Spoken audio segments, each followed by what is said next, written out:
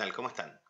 Bueno, eh, hoy empezamos la unidad 4 de, de nuestro programa, que son las Islas Británicas. Sin embargo, seguimos en buena medida con el tema que veníamos desarrollando en las clases anteriores, que son los reinos romanos germánicos o la Edad Oscura, digamos, la temprana Edad Media. Y el término Edad Oscura probablemente nunca estuvo mejor aplicado que a lo que pasa con la provincia romana de Britania a la caída del Imperio Romano, porque justamente Britania se va a asumir en una profunda edad oscura, una época de la cual sabemos muy pocas cosas, tenemos noticias muy vagas, y verdaderamente se da un auténtico colapso total de la civilización romana, con la eh, retirada de las tropas imperiales, digamos, con el abandono por parte de los romanos de esta isla tan difícil de defender, tan remota para el mundo romano. Pero empecemos por el principio. Mm, en la Edad de Hierro, eh, en la temprana Edad de Hierro, eh, las Islas Británicas habían sido eh, ocupadas por tribus celtas que van a desarrollar su propia cultura celta en estas islas. Cuando digo Islas Británicas me refiero a Gran Bretaña e Irlanda, ¿no es cierto? Eh, que va a asumir algunos caracteres propios, algunos caracteres este, típicos de, estas regiones, ¿eh? la cultura celta de estas regiones, eh, hasta que en el año 43 las legiones romanas del emperador Claudio van a ocupar todo el sur y centro de la Gran Bretaña, la región que hoy en día conocemos como Inglaterra. Ahí se va a establecer lo que se va a llamar la provincia romana de Britania. Y durante casi cuatro siglos los romanos van a ocupar eh, esta región, van a fundar ciudades, van a construir eh, caminos, ¿eh? calzadas romanas, van a construir fortificaciones, la más famosa de ellas, por supuesto, la muralla de Adriano, que corre de este a oeste de, la, isla de Gran Bretaña, separando lo que por entonces era la provincia romana de Britania de eh, Caledonia, que era donde todavía vivían los eh, celtas, digamos, no civilizados, no incluidos en el Imperio Romano, este, más tarde pictos y luego también escotos, que es una tribu que va a llegar desde Irlanda y que va a terminar dando su nombre a Caledonia, o sea, que va a pasar a llamarse en virtud de estos, de estos este, invasores, digamos, eh, irlandeses, se va a pasar a llamar Escocia. Bueno, esta es, eh, bueno, eh, Britania llegó a ser una provincia del Imperio Romano con todas las disposiciones y comodidades y, aparato administrativo, este, guarniciones, etc. Este, si bien siempre fue una provincia que estuvo más eh, amenazada por los invasores, ya sean los eh, caledonios como más tarde, en el siglo III, los eh, piratas sajones. De hecho, la presencia de los piratas sajones llegó a, a los romanos en la segunda mitad del siglo III después de Cristo a construir toda una serie de fortificaciones costeras muy imponentes, de las cuales digamos, eran tan masivas que algunas de las cuales sobreviven bastante intactas. Em, bueno, sabemos que eh, eh, entre los años 287 y 296 incluso hubo usurpadores que este, separaron eh, la provincia británica en un imperio separado que se llamó el Imperio Romano Británico, Caraucio y Alecto. Y más tarde fue reincorporado, obviamente, el imperio, al Imperio Romano, la isla de Britania reconquistada, y justamente en el año 306 va a ser nada menos que en Britania donde va a ser proclamado Primero va a morir Constancio I en Britania, en, Eboracum, en York, en el norte de Britania, y en el año 306 su hijo, Constantino el Grande, va a ser proclamado emperador. Así que digamos que algunos hechos muy importantes del Bajo Imperio tuvieron lugar en Britania. Pero en el año 407, eh, cuando se produce la invasión de, los pueblos que cruzan la frontera renana, eh, se produce una rebelión en Britania porque probablemente en buena medida tenían miedo las tropas de ahí de quedar desconectados de, eh, del Imperio Romano y van a proclamar a uno de sus oficiales con el nombre de Constantino III como emperador. Constantino III va a marchar aprovechando el caos que se produce con la invasión germánica sobre el continente, va a ser derrotado y en el 410 Honorio eh, manda una célebre carta, que en cierto modo marca el inicio de la Edad Media en Britania, que le dice a los britones que no va a mandar más tropas, que traten de organizarse y defenderse por su cuenta, porque obviamente el Imperio Romano en ese momento está bajo amenazas mucho más, eh, mucho más cercanas, digamos, y eh, regiones mucho más importantes como la Galia e Hispania están este, bajo amenaza de, los invasores y eh, Britania verdaderamente es de interés muy secundario para los romanos. Bueno, ¿qué pasó entonces con los pobres britones romanizados, celtas romanizados, digamos? Eh, probablemente la pista o alguna pista de lo que pasó a partir de ese año nos la da eh, San Gildas. San Gildas era un monje, un monje britón, probablemente nacido en lo que actualmente sería el suroeste de Escocia, pero que eh, muestra un buen grado de civilización romana, por lo cual se tiende a pensar que San Gildas se formó por lo menos eh, hacia mediados del siglo V y no después, como se creía. Gildas, por cierto, como les digo, no es un historiador, es un monje. ¿eh? Y en realidad la obra que llegó a nosotros de él, que se llama De Exidio et Conquestu Britanniae, acerca de la ruina y la conquista de Britania, es una serie de sermones en los cuales él se queja de la situación política, moral ¿eh? y militar, digamos, de su país, Britania, este, eh, en la época en la que, que precede a la, época en que él relata. ¿no? Se queja, bueno, de las pugnas entre los régulos, régulos britones, pequeños reyesuelos britones que surgen como, seguramente como autoridades locales, en buena medida con el colapso del, del poder romano, y que en principio el disparador de toda la crisis no la va a dar una invasión germánica, en primer momento, sino las incursiones de los pictos y los escotos. ¿Quiénes eran? Bueno, ya les dije, los pictos eran los antiguos escoceses, digamos. Y los escotos, bueno, también no sabemos si estos escotos venían ya de los contingentes que ya se habían asentado y se habían este, desarrollado en lo que sería la propia Escocia o directamente de Irlanda. Lo cierto es que eh, no parecen ser enemigos muy, muy eh, peligrosos, o por lo menos así lo plantea Gildas, ¿no? Dice, bueno, que no es que fueran no es que fueran invencibles, ni mucho menos, pero que el carácter eh, holgazán, eh, cobarde, etcétera, eh, de, los britones hace que estos este, enemigos, estos escotos y pictos, este, puedan todo el tiempo dedicarse a robar, rapiñar, este, quemar, destruir, etcétera. Con lo cual, em, los britones piden ayuda al imperio. Y según Gildas, en realidad, a pesar de que tenemos esa carta de Honorio, probablemente entre estos años 430, 420, 430, los romanos mandan dos veces tropas y que derrotan muy fácilmente a los, a los este, a estos merodeadores, pictos y escotos. Pero al tercer pedido de, ayuda de los britones, le contesta, eh, le, le, mandan una carta a Esio, al general Esio, digamos, y esto estamos ya en los 440 probablemente, los años 440, y Esio les contesta que se arreglen solos, digamos, que ya está, que esa gente realmente no, eh, que obviamente tiene cosas más, más graves que ocuparse y que eh, estos eh, pictos y escotos no son realmente tanto problema, podrían ustedes organizarse y defenderse solos, ¿no? Con lo cual, Tejern, que es como el nombre que nos han conservado otras fuentes, ¿eh? otras fuentes, eh, que es Veda y la eh, crónica anglosajona, escrita en la época de Alfredo el Grande. este régulo, que parece ser el más importante, digamos, de los régulos britones en este momento, va a invitar, bueno, Gildas nos dice a los sajones, a los mismos piratas que venían ya, este, que eran bastante más peligrosos, por cierto, que los pictos y escotos, con algún tipo de foedus, con algún tipo de alianza, brindándoles, eh, eh, bueno, eh, Gildas dice como mercenarios, o, da a entender la idea de que, se les dan provisiones y, este, algún pago, digamos, pero en verdad debe haber habido algún tipo de foedus, algún tipo de invitación a establecerse.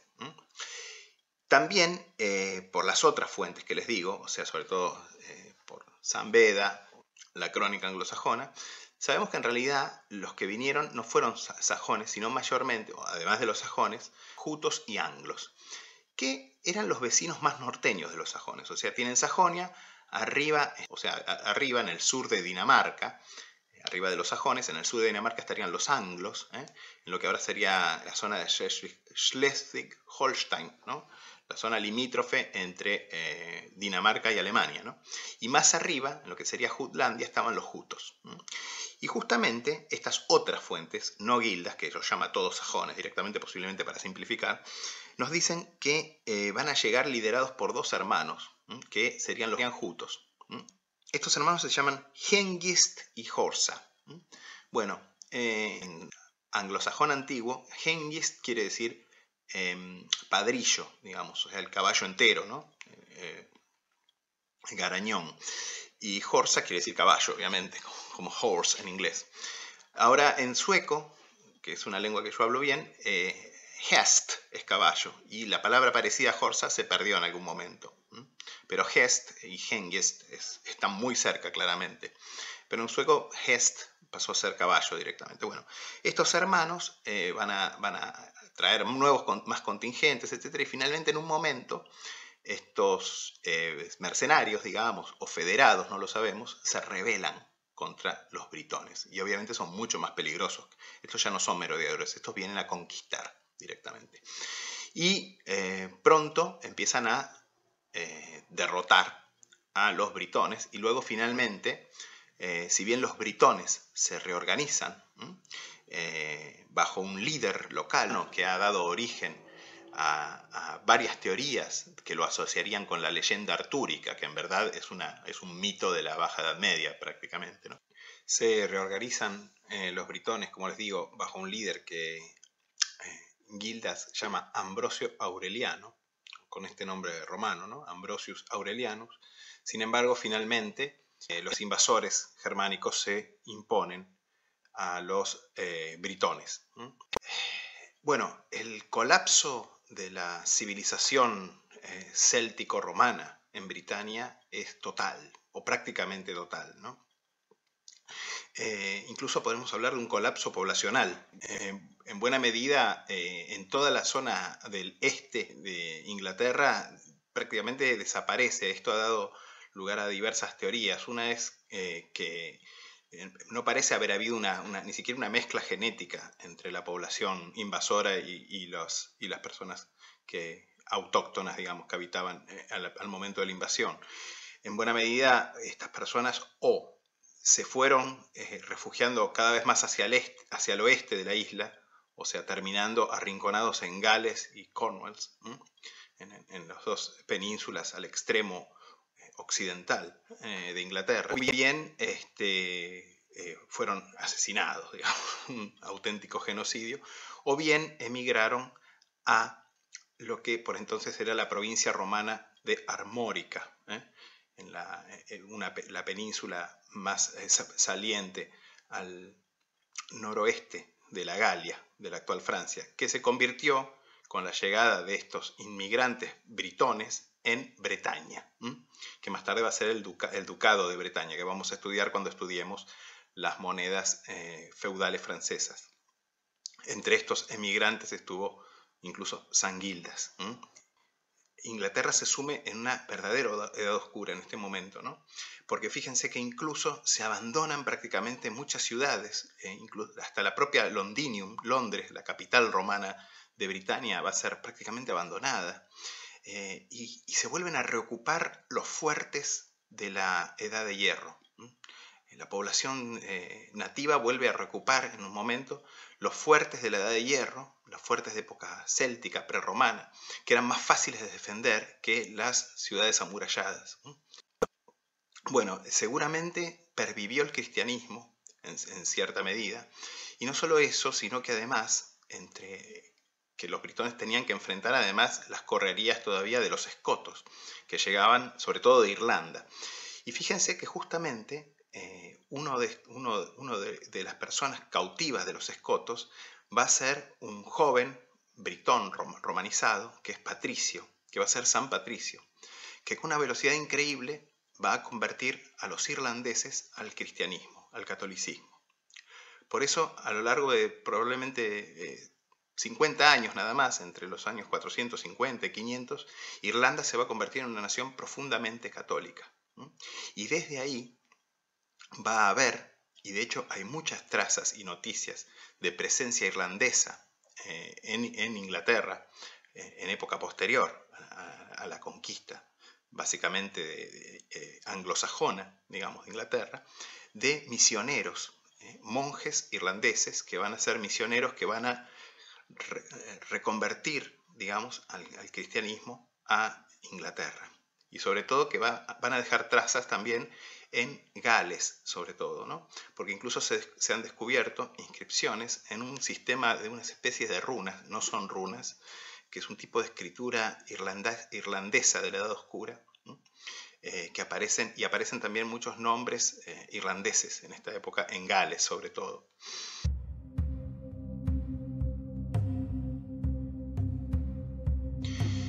Colapso de la civilización romana, que se pierde eh, la escritura, la literalidad, incluso hay un colapso poblacional monstruoso, también se refleja en la desaparición de la economía monetaria.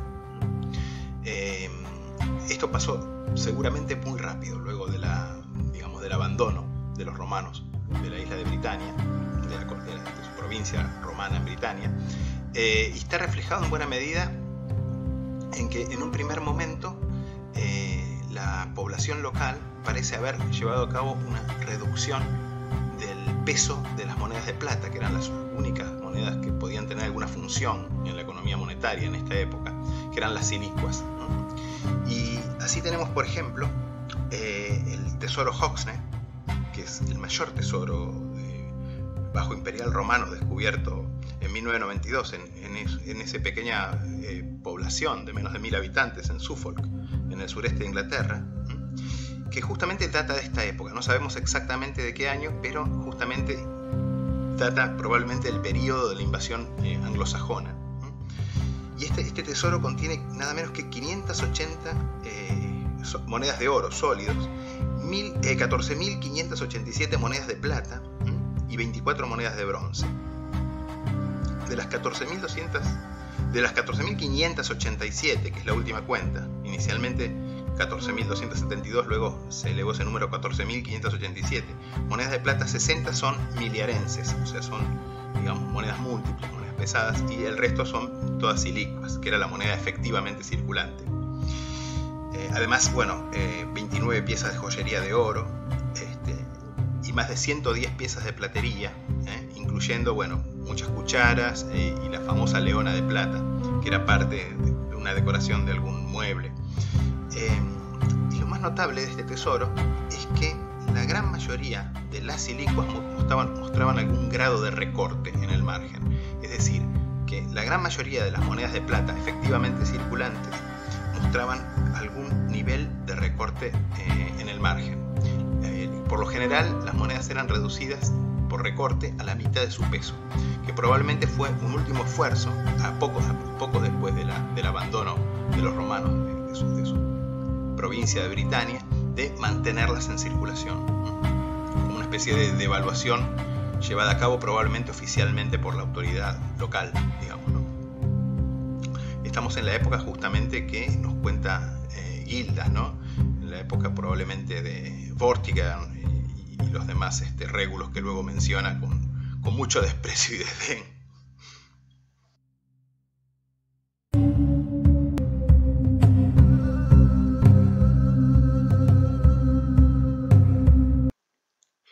De manera que aproximadamente entre los años 452 y 550-600, los anglosajones van a ir conquistando toda Inglaterra y van a arrinconar a los galeses, o mejor dicho, a la población originaria céltico-romana, por un lado, bueno, en Gales, por supuesto, y por el otro, en el extremo eh, rincón suroeste de Inglaterra, la península de Cornwall. Em, pero a partir de esa fecha, más o menos, hacia los años 600 o poco después, ya prácticamente no va a haber más avances, porque bueno, los galeses van a resistir, van a instalarse en las colinas de Gales, sobre todo, y en las regiones más inaccesibles de estos territorios que van a mantener. Y ahí, eh, en 500 años de dominación anglosajona de Inglaterra jamás van a poder llegar a conquistar Gales, porque para los anglosajones y en buena medida para sus sucesores normandos y luego también durante muchos siglos, eh, Gales va a ser un poco como el Vietnam de Inglaterra, o sea, eh, van a ser una guerra de guerrillas muy, muy tenaz. Eh, por momentos sí, va a haber avances, va a haber ocupaciones parciales, pero al mismo tiempo los galeses se van a rebelar muchas veces y recién en la década de 1280, bajo Eduardo I, eh, los ingleses van a lograr conquistar por primera vez Gales, si bien va a haber varias rebeliones, de hecho la última hacia el año 1400 todavía, y finalmente, eh, eh, a pesar de que los ingleses van a someter esas rebeliones, como vamos a ver, los, Inglaterra misma va a terminar siendo gobernada por una dinastía originaria de Gales, que son los Tudor. Pero bueno, volviendo a los anglosajones, digamos que eh, para el año 600, 620, 630, vamos a encontrar el territorio de Inglaterra, de la Inglaterra anglosajona, dividida mayormente en siete reinos, lo que los historiadores clásicos han llamado la heptarquía anglosajona, de hepta, que quiere decir siete en griego. Estos reinos son, por un lado, tres reinos anglos.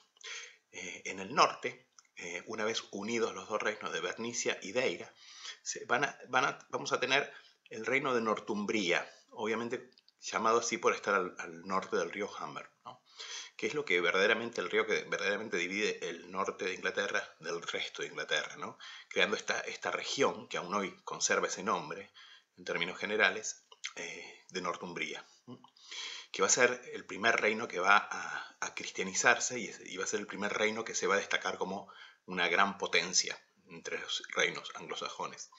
Al sur, más abajo, ocupando los Midlands, o sea, la parte central de Inglaterra, vamos a tener el reino de Mercia. Y al este de Mercia vamos a tener el reino de Anglia Oriental, bastante más pequeño y menos importante. Luego, eh, al sur de Mercia, ocupando la mayor parte del sur, vamos a tener los tres reinos sajones, eh, que van a ser Essex, Sussex y Wessex. El reino de los sajones eh, del este del sur y del oeste. Y finalmente, en el rincón, eh, en el rincón extremo sudoriental de Inglaterra, el más próximo al continente, por cierto, el más próximo a, la costa de Francia y la actual Bélgica, vamos a tener un reino que trazaba su mítica fundación a estos hermanos jutos, ¿eh? Hengist y Horsa, que va a ser el reino de Kent, así llamado por estar establecido en las tierras que habían pertenecido a la tribu celta de los Canti, con su capital Canterbury, justamente. Bueno, esos son los siete reinos que vamos a encontrar como la heptarquía clásica anglosajona. No todos tuvieron la misma importancia y no todos, por supuesto, fueron eh, igual de poderosos, sobre todo. De hecho, de hecho, va a haber tres reinos, especialmente, que van a sucederse como máximos poderes o como grandes poderes en la Inglaterra anglosajona. El primero va a ser Northumbria, el segundo va a ser Mercia y el tercero, que, cuyos reyes van a terminar siendo, como vamos a ver, reyes de toda Inglaterra. Bueno, estos reinos inicialmente van a ser paganos, por supuesto, van a responder al paganismo nórdico. Esto nos da una imagen de la Inglaterra anglosajona como en buena medida perteneciendo al universo cultural nórdico escandinavo, ¿no? que era básicamente el lugar de origen de la mayoría de estas tribus de anglosajones y jutos.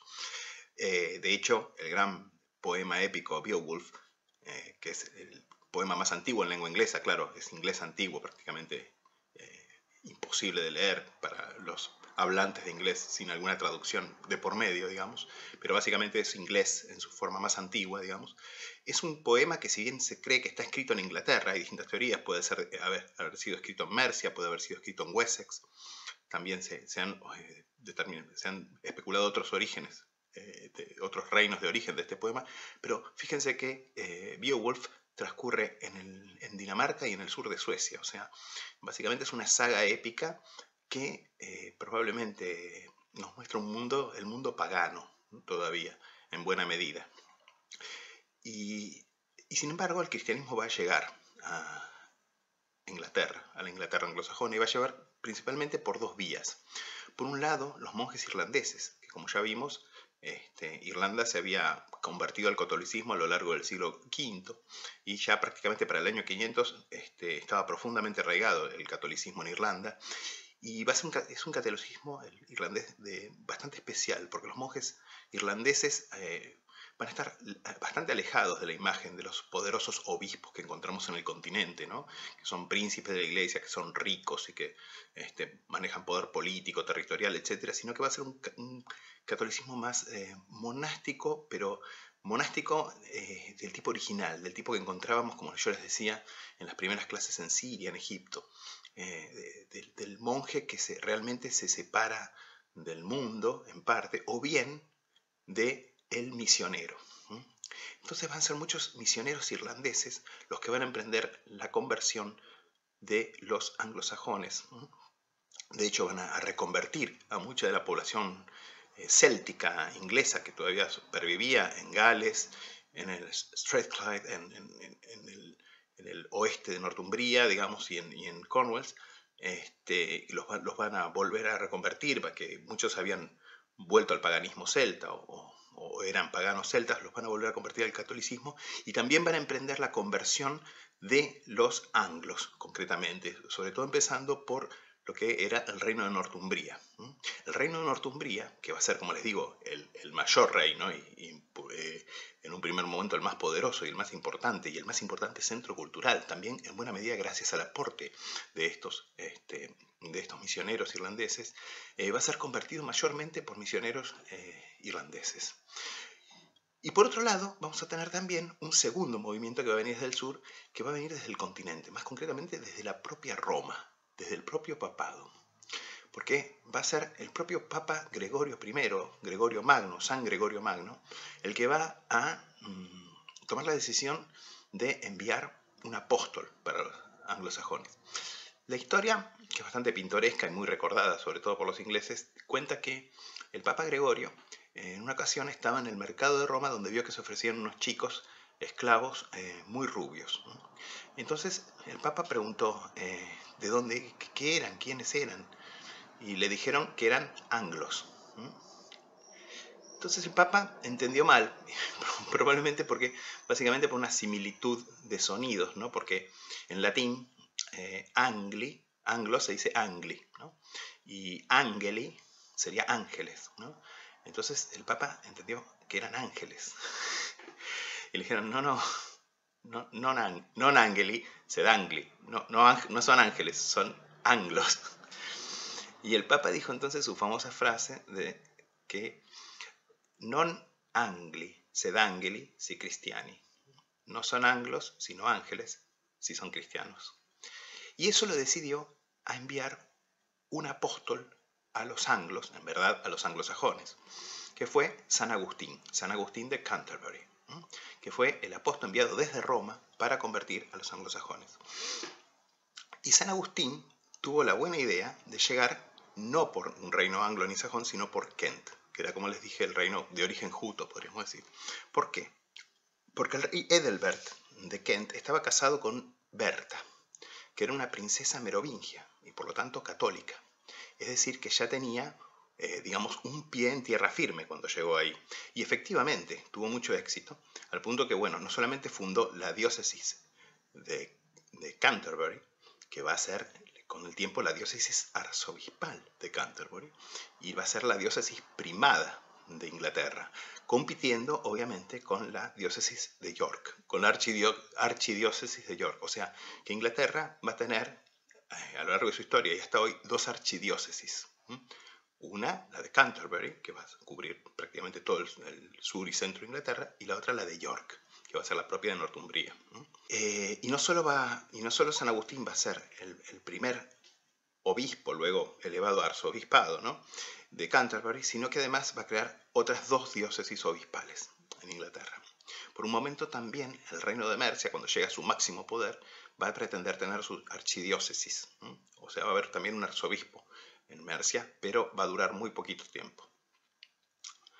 Bueno, em, finalmente este proceso de conversión al cristianismo, al catolicismo, eh, va, a encontrar, digamos, va a chocar los dos procesos, digamos, las dos oleadas de conversión, a la altura de justamente Northumbria. ¿Por qué? Porque si bien el, primer rey de Northumbria que se convierte al cristianismo va a ser convertido por, eh, por misioneros eh, papales, digamos, o sea, del, rito romano, en verdad el país había sido convertido ya, o estaba en proceso de conversión por parte de los misioneros irlandeses. Entonces, eh, esto va a haber varias discusiones sobre todo el rito, sobre todo en la fecha de la celebración de la Pascua. Y estas, estas diferencias se van a resolver en el sínodo de Whitby, en el año 664. Em, bueno, aún así, y aunque para el año 700 claramente eh, toda la Inglaterra anglosajona había quedado firmemente convertida al catolicismo, eh, en los años 600, o sea, en el siglo VII, va a haber retrocesos va a haber retrocesos en el proceso de cristianización de la Inglaterra anglosajona. Y probablemente uno de los eh, ejemplos más interesantes que tenemos, y es un tema que ya vamos a discutir también cuando hablemos de las monedas, es el famoso hallazgo que se produjo justo en la víspera de la Segunda Guerra Mundial en Sutton Hoo. Este, este hallazgo es muy impresionante porque es un rey que fue enterrado con su barco con sus impresionantes y lujosísimas armas, incluyendo obviamente el famosísimo casco de Saturn Hu, con su escudo, con una hebilla de cinturón de 400 gramos de oro macizo, que se cuenta que, según las leyes de la época, equivalía probablemente al precio de la vida de un noble. O sea, porque digamos que eh, todos estos pueblos germánicos tenían lo que se llamaba el, el, que era el dinero que se pagaba como eh, indemnización por matar a una persona. Y esto tenía distintos este, tarifas según el que, si uno mataba a un noble germánico, un noble, digamos, anglosajón, por ejemplo, si uno mataba a un hombre libre local, si uno mataba a un esclavo de tal categoría, que yo, obviamente se, tenía distintos valores. Y el máximo precio, el, máximo precio de una indemnización por algo en el, en el mundo anglosajón era justamente por la vida de un noble. Así que podemos imaginar que este, este personaje, que ahora suponemos que era el rey Redwald de Anglia Oriental, que murió en el año 624, que fue enterrado ahí, eh, cuando se sentaba en su consejo del trono tenía abrochado el cinturón con el precio de la vida de cualquiera de los nobles que estaban presentes. Lo podía matar y tirar el cinturón delante y estaba todo arreglado. Bueno, este, de este hallazgo vamos a hablar porque en este hallazgo se encontró como ofrenda eh, eh, un tesoro de monedas, pero vamos a dejarlo para cuando hablemos de las monedas mejor.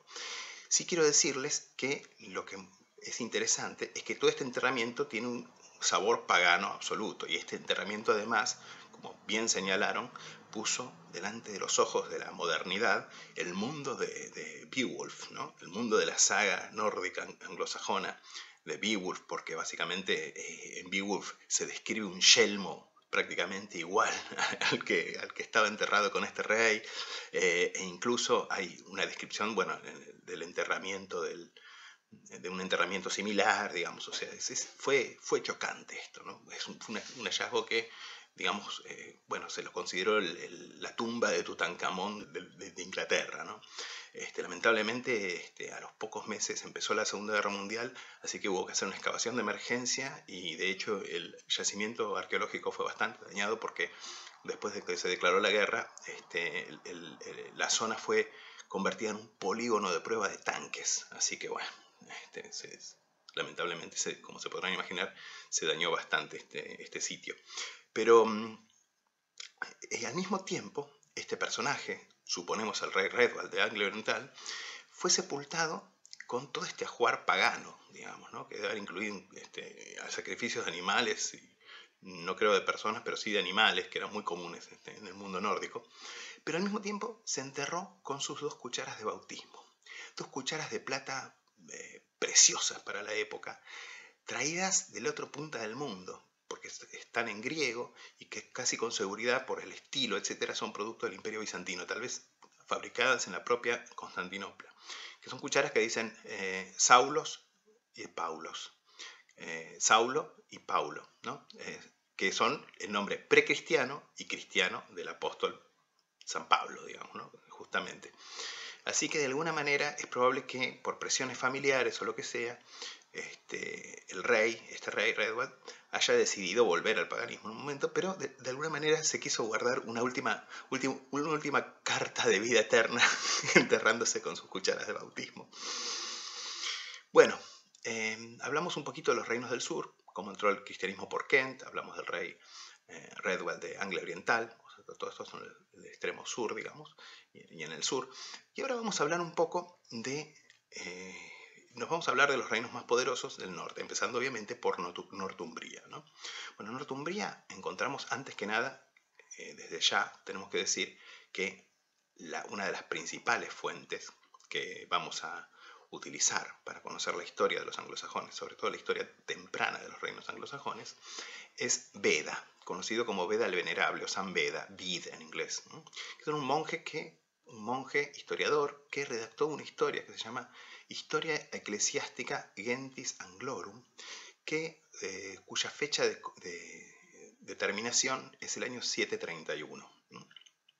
Bueno, la otra fuente, eh, que les voy adelantando, que se utiliza sobre todo para el periodo posterior a Veda, es la, es la Crónica Anglosajona, que es una obra del último cuarto del siglo IX, eh, porque quien la comisionó por primera vez fue Alfredo el Grande, de quien ya obviamente vamos a hablar, este, de Wessex. ¿sí? Pero bueno, em, bueno, eh, como les digo, Northumbria eh, en buena medida por la excelente influencia de los, de los este, monjes irlandeses y en buena medida también este, por sus relaciones con el mundo escandinavo, etc., se va a convertir en un centro importante tanto de comercio como de cultura y de poder militar. Y se va a expandir mucho, ocupando incluso lo que es actualmente el sur de Escocia, controlando por momentos toda el área de, Edimburgo, incluso la propia actual Edimburgo. ¿eh? Va a conquistar el reino de Strathclyde, que era la zona eh, occidental paralela, digamos, que todavía estaba en manos de los britones, digamos, originarios, y luego se va a extender hacia el sur y va a imponer por un momento su hegemonía a buena parte del, centro de Inglaterra. Bueno, eh, la primera diócesis que va a tener, digamos, eh, control religioso en Northumbria va a ser la de Lindisfarne, que es famosa por el primer ataque vikingo, pero más tarde la, archidiócesis, como yo ya les adelanté, se va a transferir a York. Y esto tiene importancia porque tanto la, archidiócesis de York, en el norte, en Northumbria, como la archidiócesis de Canterbury van a tener acuñaciones, o sea, van a tener monedas. Bueno, siguiendo hacia el sur, nos encontramos con Mercia, que ocupa todo el centro de de Inglaterra, ocupaba todo el centro de Inglaterra, y el nombre Mercia, eh, Mirchna, en, inglés antiguo, y probablemente Mircha en el dialecto inglés antiguo de Mercia propiamente, tiene la misma etimología de marca, de marca, que es la palabra que yo les expliqué cuando les expliqué el título de marqués. O sea, quiere decir límite, frontera. ¿Frontera con quién? Bueno, con los galeses, justamente porque básicamente eh, Mercia ocupaba toda la zona con el límite con Gales, donde todavía resistían las tribus originarias, digamos, los pueblos originarios, o sea, los britones, que como les digo, no pudieron ser conquistados nunca en época anglosajona. Eh, y de hecho tampoco hasta, como les digo, hasta el siglo XIII, porque los, digamos, los galeses este, resistieron, de hecho más, más, tarde fueron los inventores del arco largo nada menos, así que digamos, no eran ningunos, este, ningunos nenes de pecho. Bueno, bajo una serie de reyes, el más importante del periodo temprano va a ser Penda. Este, eh, Mercia va a empezar a imponer su hegemonía a distintas regiones e incluso a, este, conquistar algunas regiones este, del sur de Northumbria y de, los reinos del sur. Y bueno, eh, fue el reino que más tiempo perduró el paganismo, porque mientras que Northumbria fue cristianizada eh, desde el norte por los irlandeses y por eh, irlandeses que venían de Escocia también, que habían entrado en el proceso de cristianización de Escocia, y este, el sur fue en buena medida cristianizado desde, el continente, en cambio Mercia en el interior permaneció durante mucho tiempo pagana. Y como obviamente Mercia y era el gran enemigo de Northumbria, el gran rival de Northumbria, obviamente este, con, sus reyes paganos hasta época bastante tardía, Mercia se debe haber convertido hacia el año 670 o incluso 675, o sea, fue el último reino que se convirtió al cristianismo, obviamente Mercia tiene todas las fichas para ser los malos en la historia de Veda. o sea, verdad que era de Northumbria y era un sacerdote, era un monje cristiano, digamos, con lo cual este, este reino obviamente eh, no queda muy bien parado. De hecho, Mercia es el gran misterio. Eh, si bien hubo un descubrimiento, un tesoro muy importante, el mayor tesoro de joyas anglosajonas de oro jamás descubierto, que se descubrió en Mercia, eh, en verdad solamente se dice que sobrevivió en tres páginas de un documento este, redactado en Mercia, que fue una Biblia, una Biblia de lujo que uno de los reyes ya cristianos de Mercia, que va a ser Ofa, de quien vamos a hablar, este, posiblemente mandó de regalo, eh, que puede haber sido ordenado por Ofa, pero más probablemente copiado en Canterbury, ¿no? en la época en que Mercia ya controlaba todos los reinos del sur. Porque bajo Ofa, quien además va a construir el famoso, la famosa muralla de Ofa, Offa's Dyke, como se le dice en Inglaterra, que es una impresionante, larguísima, de cientos de kilómetros, muralla de, como la muralla de Adriano, pero en tierra pisonada, que separaba, dividía Mercia y con, ello todo el resto de la Inglaterra anglosajona, de los galeses, ¿eh? que tenía entradas en las cuales se ve que los, que los reyes de Mercia, Ofa principalmente, permitían entrar cierto comercio, ciertos intercambios con los galeses, pero que los separaba, básicamente, los tenía como arrinconados como una reserva, digamos. Y justamente bajo Ofa de Mercia, este, este, este reino, Mercia, va a imponer su hegemonía a todos los reinos del sur. O sea, en un momento va a llegar a controlar todos los reinos del sur, va a llegar a controlar prácticamente toda la Inglaterra anglosajona, ¿eh? salvo obviamente Northumbria, porque Northumbria era demasiado poderosa para ser sometida por los, por los de Mercia, si bien pronto, poco después, unos 50 años después, la propia Northumbria va a ser conquistada por invasores externos, de los cuales ya vamos a hablar, y esos mismos invasores van a quebrar el poder de Mercia. Esos invasores fueron los vikingos, por cierto. Y justamente, probablemente por culpa de los vikingos, es que se haya perdido toda, casi toda la historia de Mercia, porque los otros que escribieron sobre historia anglosajona fueron, fueron en Wessex, las crónicas anglosajonas, que para los de Wessex, Mercia también eran los villanos, digamos. Así que, bueno, y finalmente Wessex, pero Wessex lo vamos a tratar por separado cuando hablemos eh, de las monedas y sobre todo, más, más, que nada, cuando hablemos del periodo anglosajón tardío, ¿eh? que es cuando ya eh, Wessex va a ser el máximo poder en la Inglaterra anglosajona y de hecho los reyes de Wessex van a ser reyes de toda Inglaterra. Las últimas fases de la evolución de la moneda merovingia la vamos a encontrar eh, también en la Inglaterra anglosajona, en el periodo anglosajón temprano. Solo que las acuñaciones eh, anglosajonas, más allá de alguna posible acuñación tentativa, imitando sólidos romanos del siglo IV y V, que son muy, muy, muy raros y que son posiblemente monedas experimentales, en general las acuñaciones anglosajonas empiezan en fecha mucho más tardía que las merovingias, unos 100 años después. Vamos a ver por qué, pero eh, incluso un poco más de 100 años después, hacia el año 625. Y básicamente son una derivación de las acuñaciones merovingias, o sea que la moneda va a ser reintroducida por los anglosajones en, Gran Bretaña a partir de eh, unas imitaciones inicialmente de la moneda de los trémices merovingios, que en la Inglaterra anglosajona reciben el nombre, según las fuentes documentales que tenemos según las eh, leyes, etcétera, de Thrimsas. Ese es el nombre que daban los anglosajones en inglés antiguo al trémisis. Todo indicaría que entonces estos Thrimsas comienzan a acuñarse hacia el año 625. Porque piensen que en el enterramiento de Saturn Hu, que ya mencionamos antes, y que data de los primeros años 620, de los primeros años de la década de 620, posiblemente del 624, si es como creemos el enterramiento del rey Redwood, Em, en este enterramiento se descubrió un tesoro, que es una ofrenda de 69 trémices, y son todos merovingios. No hay ninguna moneda anglosajona todavía. En cambio, el tesoro Crondall, oculto hacia el año 630 más o menos, y descubierto en 1828 en, esa, en la localidad de ese nombre, en Hampshire, en el centro del sur de Inglaterra, contenía 101 piezas. De ellas, 69 eran trimsas anglosajonas y el 24 tremises merovingios.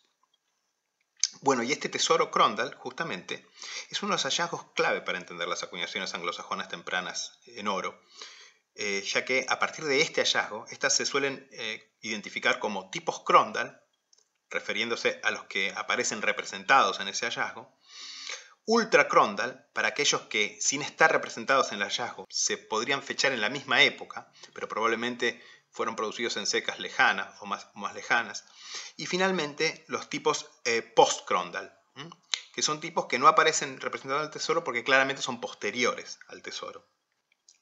Pero realmente los Trimsas son monedas muy raras. De hecho, el tesoro Crondal, que con solamente 69 Trimsas, eh, es uno de los mayores hallazgos jamás realizados, creo que el mayor incluso, de este tipo de monedas.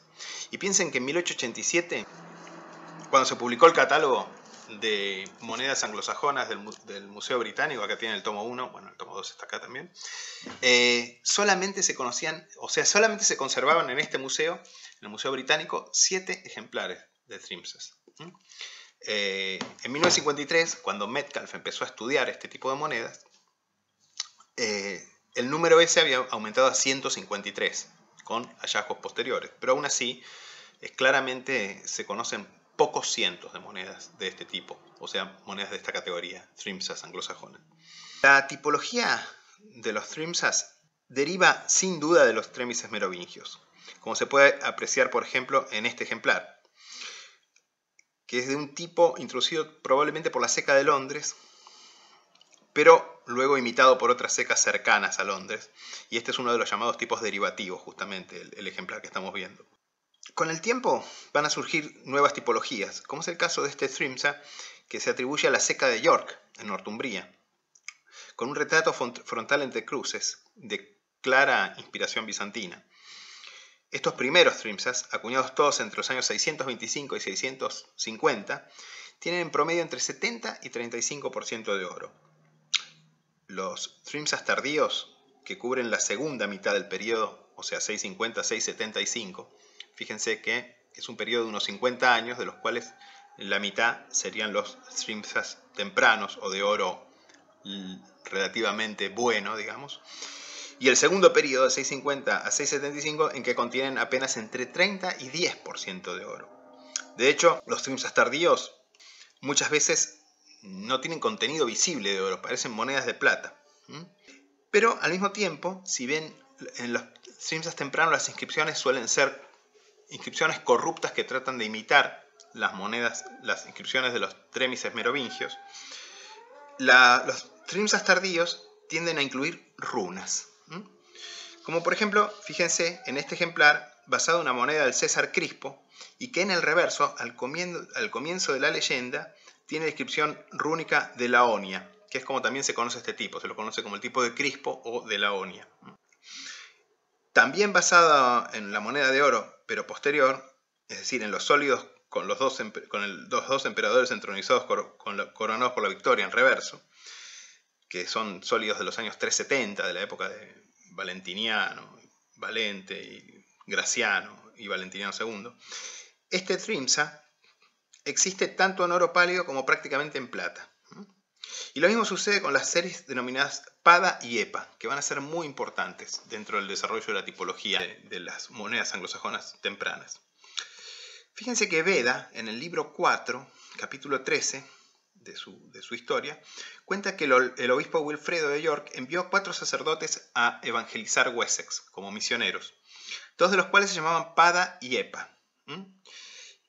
Seguramente Pada y Epa en estas monedas son nombres de monederos, ¿eh? que más tarde fueron como, eh, quedaron como fosilizados en el tiempo. Pero probablemente la asociación con estos personajes carismáticos y una leyenda que cuenta también Veda, o un hecho que cuenta Veda también en su historia, que dice que eh, estuvieron vinculados con la curación de un, de un muchacho este, que evitó la, que se esparciera una, una epidemia, Probablemente los convirtieron en piezas este, especialmente populares con estos nombres y por eso se continúa acuñando en el siguiente periodo, que es el periodo de la moneda de plata, que ya vamos a pasar a ver inmediatamente. Y por eso esas monedas, eh, si bien son producto de una seca en Kent, probablemente, la, mayoría de los ejemplares, eh, llevan esa inscripción en rúnico, inicialmente en el reverso, ¿sí? como puede apreciarse en estos ejemplares. Uno en oro que todavía se ve visiblemente que contiene ese metal y otro prácticamente parece de plata. Y justamente hacia el año 675 el Trimsa va a ser sustituido por una moneda de plata.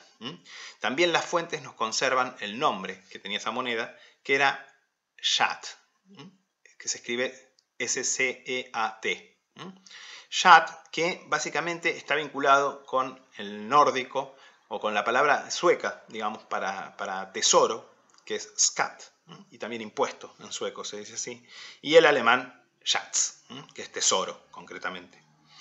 A diferencia del Tremises merovingio, que nunca se confundió con el posterior denario, que como vimos en la clase anterior, es muy probable que el, el o, Seat eh, fuera la derivación directa del Trimsa.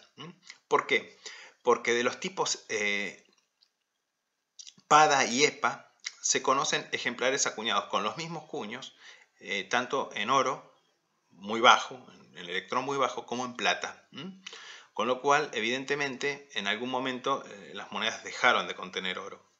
Si bien, según interpreta Abramson y otros autores, eh, Metcalf también, eh, según las noticias que nos dan las leyes antiguas, donde se fija, por ejemplo, el Bergeld, que era lo que se pagaba por matar a una persona, se pagaba una especie de indemnización para evitar la venganza, y obviamente que cárcel no había, había pena de muerte o mutilación, o este, directamente, eh, o, o si no, había eh, la posibilidad del pago de una indemnización. Y probablemente eh, circularon juntas las monedas de oro y las de plata porque hay leyes que implican eh, pagos, tanto en monedas que se las denomina chelines, shillings, que sería posiblemente lo que representa el Trimsa. Está discutido esto, en verdad, sino que más probablemente en esta época lo que se llama shillings sean conjuntos quizá de 40 o lo que sea, eh, eh seatas. Este, no, no justamente estas monedas de oro. Bueno, como sea, eh, los primeros seatas, que como les digo son derivados eh, de, los trimsas, o sea, de los trimsas, tienen la misma tipología y a veces, como les digo, los primeros están acuñados a veces con los mismos cuños, son los llamados tipos transicionales, ¿no? que se fechan entre los años 675 y 680, como el que vemos acá, eh, atribuido a una seca de eh, en Essex, y, sigue a estos la categoría de los llamados eh, zetas primarios, de hacia 680 710. Muchos de estos zetas primarios derivan de los tipos PADA y EPA, como por ejemplo este, y provienen mayormente de Kent y a veces Anglia Oriental. Otro tipo abundante en las series primarias es el de la cabeza diademada en anverso y la, paloma sobre cruz en reverso, que también proviene de Essex o Anglia Oriental. Pero en la siguiente fase, los denominados seatas secundarios, entre los años 710 y 760, probablemente con el aumento de las secas productoras, se va a introducir tipos mucho más creativos, incluyendo figuras de animales, bestias mitológicas y otros personajes. Así este, por ejemplo, eh, que se atribuye a una seca al sur de Wessex, muestra un hombre con dos cruces, probablemente un misionero, en anverso. Eh, este otro, quizá de Mercia, tiene una enigmática cabeza de frente que se ha interpretado como Jesús y un cuadrúpedo en reverso. Este otro, casi con seguridad procedente de la, la seca de Hamwick, la antigua Southampton, que era un gran puerto comercial en la época anglosajona temprana, tiene en anverso una cabeza de dios nórdico, que se, lo ha, se la ha interpretado así, que podría ser Wodan, y un ave en reverso, un ave en vuelo en reverso. Y de la misma seca, este otro tipo presenta un diseño ornamental en forma de cabezas de lobo en espiral en anverso. Este otro tipo, atribuido a Essex, tiene en anverso un centauro mujer con prominentes senos y sosteniendo dos palmas u hojas de palmera quizá un diseño derivado de una moneda de emperador galieno. En algunos casos, estas series secundarias muestran una devaluación gradual del contenido de plata. Además de estos grupos propios de la Inglaterra anglosajona, o originarios en la Inglaterra anglosajona, otros grupos importados, conocidos como seatas continentales, fueron producidos entre 710 y 740, de manera que se superponen con la primera época de los seatas secundarios pero circularon mayormente en la isla. La gran mayoría fueron producidos en, Frisia y son del grupo del llamado puercoespín, que en realidad, que tiene este puercoespín en anverso, que en realidad no es otra cosa que la cabeza que aparecía en los tipos que veíamos de Pada y Epa, eh, que generalmente o muchas veces está radiada, ¿sí? y con el estandarte en reverso, si bien existen muchísimas subvariantes de, este, de estos tipos de seatas continentales. Pero otros, como este tipo bastante impresionante, que se conoce como el tipo de Wodan, porque presenta la cabeza de un dios muy barbudo, que podría interpretarse como el dios nórdico Wodan en anverso, y una criatura fantástica volando en reverso, fueron acuñados en el sur de Escandinavia. O sea que estamos hablando de monedas vikingas y de hecho este tipo es mucho más tardío probablemente que los otros. Probablemente llega hasta el año 800 o incluso después del año 800 en su producción, época en que ya los seatas ya no circulaban en, Inglaterra. Em, de hecho, se los atribuye, e, este tipo en particular se los atribuye a la seca de Ribe, en, Jutlandia, o sea, en Dinamarca. Más allá de la distinción eh, eh, precisa entre piezas autóctonas y continentales, entre los dos grandes periodos en que podemos clasificar las monedas, en verdad los seatas no son tampoco monedas comunes. Más allá de la distinción entre piezas autóctonas y continentales, podemos decir que en realidad los seatas tampoco son monedas para nada comunes. Para que se hagan una idea, Metcalf estimó que no más de unos 7.000 aproximadamente ejemplares se conocen o llegaron a nosotros combinando todas las eh, grupos, series, etc. Y eh, Abramson, en su estudio más reciente, estima que no más de 350 se descubren por año, o se reportan por lo menos como descubiertos por año. Em, la atribución a reinos y gobernantes de precisos de todas estas monedas tempranas es muy compleja, porque obviamente las inscripciones no permiten eh, atribuir a reinos, secas, etc., salvo en algunos casos muy particulares, como por ejemplo un raro SEAT que menciona la seca de Lundonia, que obviamente sería Londres. Y más allá de eso, obviamente, algunos pueden atribuirse en base a los hallazgos, o sea, dónde se encontraron. Bueno, vimos que las monedas más antiguas anglosajonas son los Trimsas, las versiones anglosajonas del Trémisis, eh, de oro bajo. Eh, los Trimsas son monedas muy raras y yo no tengo ninguno en la colección pero las siguientes monedas más antiguas anglosajonas son los seatas o seat en singular. Y puedo mostrarles un par de esas monedas. Bueno, eh, normalmente se atribuían las seatas mayormente a las secas en el sur de Inglaterra, de Londres para abajo.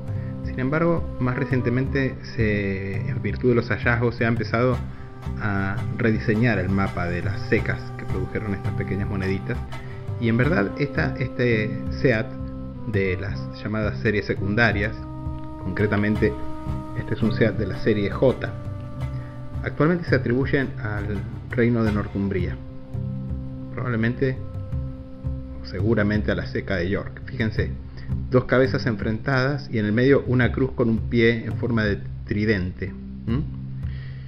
Y bueno, el reverso es bastante notable porque tiene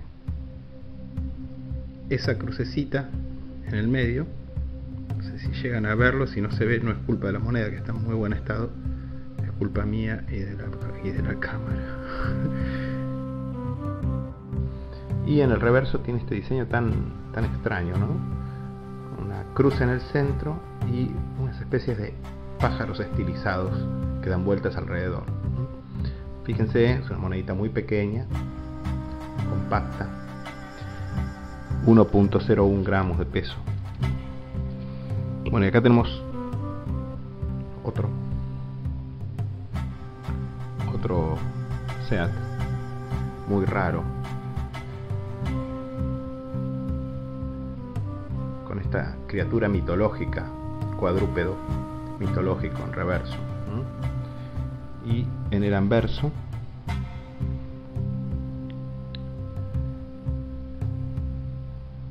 verso eh, una cabeza, que es frecuente en estas, en estas monedas, en estas monedas que son de las primeras de las series secundarias, con una inscripción en rúnico. Esta, esta moneda, este Skeat o Shat, o Shat, como sería la pronunciación exacta en anglosajón, es una moneda probablemente del reino de Anglia Oriental. Y de hecho fue excavada por un deteccionista